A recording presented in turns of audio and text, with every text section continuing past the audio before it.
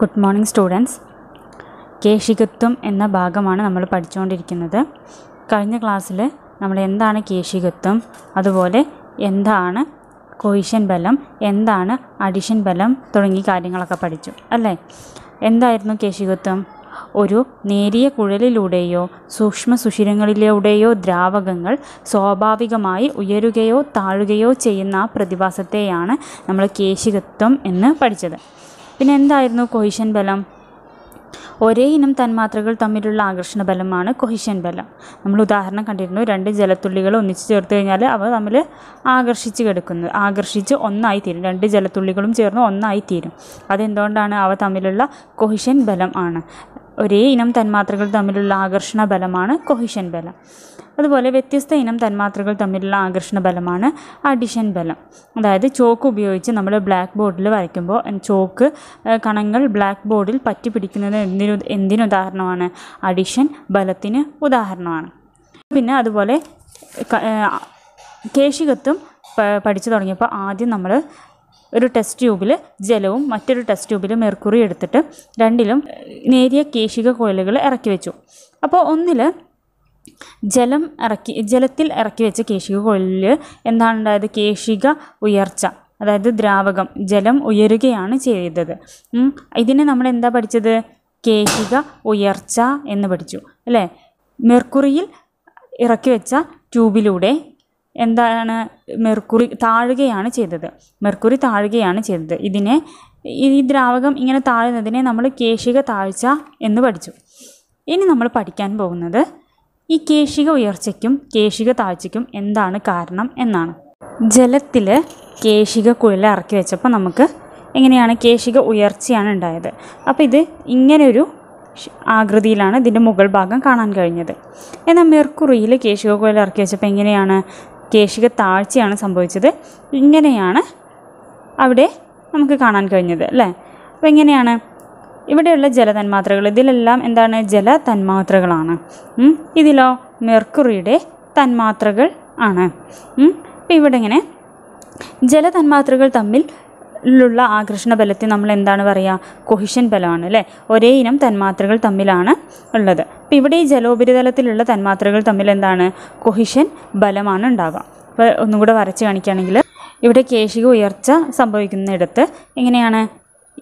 ഉപരിതലത്തിലുള്ള ജലതന്മാത്രകൾ തമ്മിൽ അതായത് ഒരേ ഇനം തന്മാത്രകൾ തമ്മിൽ കൊഹിഷൻ ബലമാണ് ഉണ്ടാവുക. എന്നാൽ ഈ ഗ്ലാസിനോട് ചേർന്ന് ട്യൂബിനോട് ചേർന്നിരിക്കുന്ന തന്മാത്രയും ഗ്ലാസും തമ്മിൽ എന്താണ് ഉണ്ടാവുക?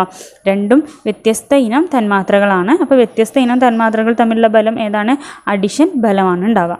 ഗ്ലാസിനോട് ചേർന്നിട്ടുള്ള ജല ജലതന്മാത്രയും ജല തന്മാത്രയും ജലതന്മാത്രയും ഗ്ലാസും തമ്മിലുള്ള ആകർഷണ ബലം എന്ന് പറയുന്നത് എന്താണ്? അഡിഷൻ ബലമാണ്. അപ്പോൾ ഇവിടെ ഇങ്ങനെ ഈ കൊഹിഷൻ ബലത്തേക്കാൾ അതായത് ജലതന്മാത്രകൾ തമ്മിലുള്ള കൊഹിഷൻ ബലത്തേക്കാൾ കൂടുതലാണ് ഈ ഗ്ലാസും ജലതന്മാത്രയും തമ്മിലുള്ള അഡിഷൻ ബലം. അതുകൊണ്ടാണ് ഈ സൈഡ് ഇങ്ങനെ പൊങ്ങിയിരിക്കാൻ കാരണം. ഇവിടെ ഇങ്ങനെയുള്ള ഇവിടെ എന്താണ്? കോയിഷൻ ബലമാണ് പ്രതല ബലത്തിന് കാരണം. ജലതന്മാത്രകൾ തമ്മിലുള്ള കോയിഷൻ ബലം എങ്ങോട്ടാണ്? താഴേക്കാണ്. ഈ പരിണിത ബലം എന്ന് പറയുന്നത് താഴേക്കാണ്.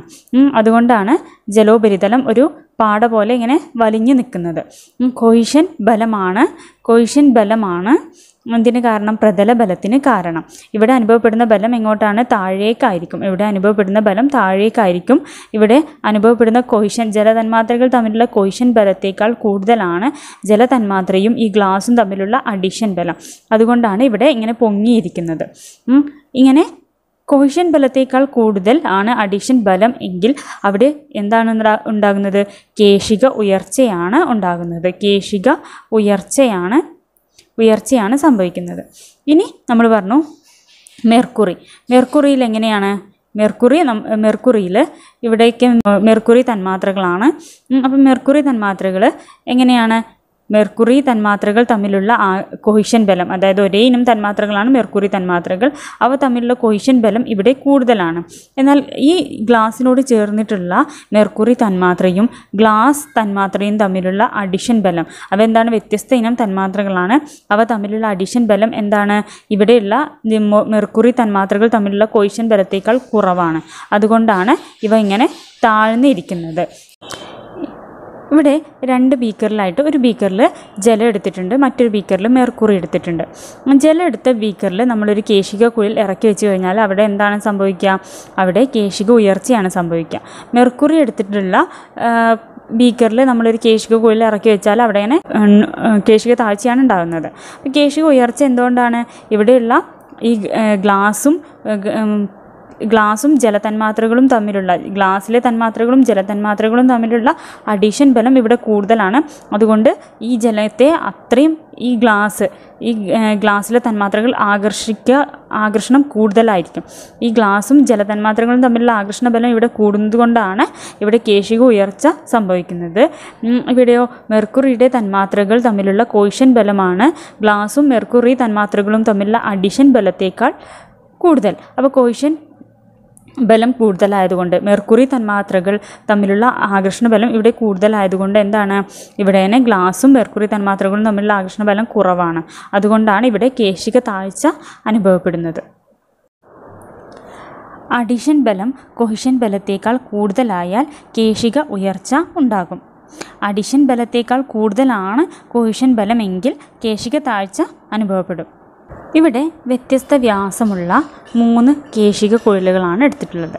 അപ്പോൾ മൂന്ന് വ്യത്യസ്ത വ്യാസമുള്ള കേശിക കുഴലുകളിലും വ്യത്യസ്തമായിട്ടാണ് കേശിക ഉയർച്ച സംഭവിച്ചിട്ടുള്ളത്. ഏറ്റവും ചെറിയ വ്യാസമുള്ള ഏറ്റവും വണ്ണം കുറഞ്ഞ ചെറിയ വ്യാസമുള്ള കുഴലിലാണ് കേശിക ഉയർച്ച കൂടിയതായിട്ട് കാണാൻ സാധിക്കുന്നത്. എന്തുകൊണ്ടാണ് ഇങ്ങനെ? ഏറ്റവും വ്യാസം കൂടിയ കുഴലിൽ കേശിക ഉയർച്ച കുറവാണ്. എന്തുകൊണ്ടാണ് ഇങ്ങനെ സംഭവിക്കുന്നത്? വളരെ നേരിയ കുഴലാണിത്. ഇതിലെന്താണ്? ഇതിൽ ഉൾക്കൊള്ളാൻ കഴിയുന്ന ജലത്തിന്റെ അളവ് എന്താണ് വളരെ കുറവാണ്. ഇപ്പം എന്താണ്? ഈ ജല ജലത്തിന്റെ ഭാരം കുറവായതുകൊണ്ട് എന്താണ് ഇവിടെ ഉണ്ടാകുന്ന ഈ അഡിഷൻ ബലം അഡിഷൻ ബലം ഈ ഗ്ലാസ് ഗ്ലാസ്സിലെ തന്മാത്രയും ജലതന്മാത്രയും തമ്മിലുള്ള അഡിഷൻ ബലം ഇവിടെ കൂടുതലായിരിക്കും. അതുകൊണ്ട് തന്നെ ഇവിടെ കേശിക ഉയർച്ച സംഭവിക്കുന്നു. കേശിക ഉയർച്ച നന്നായിട്ട് സംഭവിക്കുന്നു. നന്നായിട്ട് ജലം ഇവിടെ ഉയരുന്നു. എന്നാൽ കുറച്ചുകൂടെ വണ്ണം. ഈ കോയിലിനേക്കാൾ കുറച്ചുകൂടെ വണ്ണമുള്ള ഒരു കോയിലെടുത്തപ്പോൾ എന്താണ്? ഇത്ര തന്നെ കേശിക ഉയർച്ച സംഭവിച്ചില്ല. എന്തുകൊണ്ടാണ് ഇവിടെ ഉണ്ടാകുന്ന ജലത്തിന്റെ ഭാരം എന്ന് പറയുന്നത് കൂടി? ഈ നേരിയ കുഴലിൽ ഉൾക്കൊള്ളാൻ കഴിയുന്നതിനേക്കാൾ ജലം ഇതിൽ ഉൾക്കൊള്ളാൻ കഴിയും. അതുകൊണ്ട് എന്താണ് ഇവിടെ ജലത്തിന്റെ ഭാരം കൂടി? ജലത്തിന്റെ ഭാരം കൂടുമ്പോൾ എന്താണ് ഇവിടെ ഉണ്ടാകുന്ന ഈ അഡിഷൻ ബലം എന്താണ് കുറയുകയാണ് ചെയ്യുന്നത്. ഈ അഡിഷൻ ബലത്തേക്കാൾ കൂടുതൽ ജലത്തിന്റെ ഭാരം വരുമ്പോൾ എന്താണ് കേശിക ഉയർച്ച കുറയുന്നു. ഇനി ഇവിടെ ഇതിൽ ഇതിലും കൂടുതൽ കുറച്ചുകൂടെ വണ്ണമുള്ള ഒരു കുഴലെടുത്തു വ്യാസം കൂടുതലാണ് ഇതിനപേക്ഷിച്ച് അപ്പോൾ എന്താണ്? വീണ്ടും ജലത്തിന്റെ ഭാരം ഇവിടെ കൂടും. ഇതിനേക്കാൾ ജലം ഇതിൽ ഉൾക്കൊള്ളാൻ കഴിയും. ഇതിലെ ജലത്തിന്റെ ഭാരം കൂടുമ്പോൾ എന്താണ്? ഇവിടെ ഉണ്ടാകുന്ന അഡിഷൻ ബലം കുറയും. എന്താണ്? ജലത്തിന്റെ ഭാരം കൂടുമ്പോൾ എന്താണ്? ഇവിടെ ഉണ്ടാകുന്ന കേശിക ഉയർച്ച കുറയുന്നു. കുഴലിന്റെ വ്യാസവും കേശിക ഉയർച്ചയും തമ്മിൽ എന്താണ് ബന്ധം? കുഴലിന്റെ വ്യാസം കുറയുമ്പോൾ കേശിക ഉയർച്ച കൂടും. വ്യാസം കൂടുമ്പോൾ കേശിക ഉയർച്ച കുറയും. കുഴലിന്റെ വ്യാസം കുറയുമ്പോൾ അതിനകത്ത് ഉൾക്കൊള്ളാവുന്ന ദ്രാവകത്തിന്റെ ഭാരവും കുറയും. കുഴലിനകത്തെ ദ്രാവകത്തിന്റെ ഭാരത്തെ താങ്ങി നിർത്തുന്നത് അഡിഷൻ ബലം ആണ്. അഡിഷൻ ബലം ദ്രാവകത്തിന്റെയും അതുമായി സമ്പർക്കത്തിൽ വരുന്ന പ്രതലങ്ങളുടെയും സ്വഭാവത്തെ ആശ്രയിച്ചിരിക്കും. ട്യൂബുമായുള്ള അഡിഷൻ ബലം ദ്രാവകത്തിന്റെ കൊഹിഷൻ ബലത്തേക്കാൾ കൂടുതലായതിനാൽ ദ്രാവകത്തിന് കൂടുതൽ ഉയരാൻ സാധിക്കുന്നു.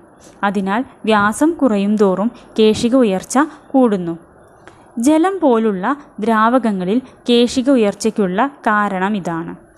എന്നാൽ കുഴലിനകത്തെ ദ്രാവകത്തിന്റെ ഭാരം ഇതിനെ എതിർക്കുന്നു. അപ്പോൾ ഇന്ന് നമ്മൾ കേശിക ഉയർച്ചയ്ക്കും കേശിക താഴ്ചയ്ക്കുമുള്ള കാരണങ്ങൾ എന്തൊക്കെയാണ് എന്ന് പഠിച്ചു അല്ലേ? എന്തൊക്കെയാണ്? അഡിഷൻ ബലം കൊയിഷൻ ബലത്തേക്കാൾ കൂടുതലായാൽ കേശിക ഉയർച്ച ഉണ്ടാകുന്നു. അഡിഷൻ ബലത്തേക്കാൾ കൂടുതലാണ് കൊയിഷൻ ബലമെങ്കിൽ കേശിക താഴ്ചയും ഉണ്ടാകുന്നു.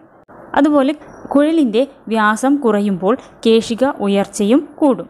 കേശി വ്യാസം കൂടുമ്പോൾ കേശിക ഉയർച്ച കുറയും.